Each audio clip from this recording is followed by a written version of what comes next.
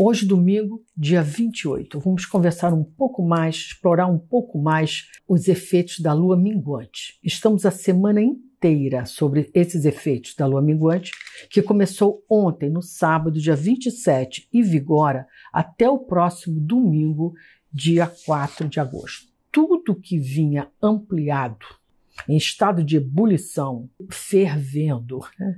devido à influência da lua cheia, dá uma acalmada, uma distendida, uma diminuída de volume e intensidade, de modo que podemos lidar com as coisas com menos sufoco. A lua minguante sempre traz uma trégua, tira a pulsação das dores, dos aborrecimentos, dos desentendimentos, das preocupações, de modo que temos assim um pouco de paz, uma folga para a gente repensar as estratégias antes de começarmos uma nova partida, uma nova empreitada na próxima lua nova do dia 4.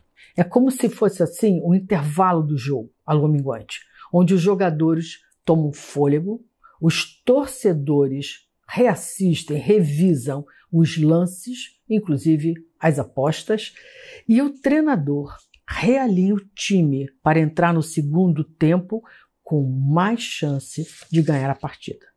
Como a fervura baixou e os ânimos arrefeceram, temos a cabeça fria e o coração acalmado para lidar com questões que nos afligiam e que nos tiravam do sério, que nos tiravam o sono, só de pensar nelas. Temos mais tranquilidade agora para encará-las.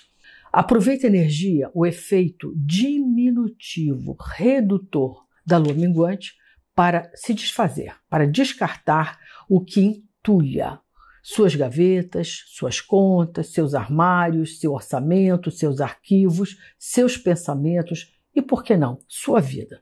Inclusive as despesas e os quilos a mais.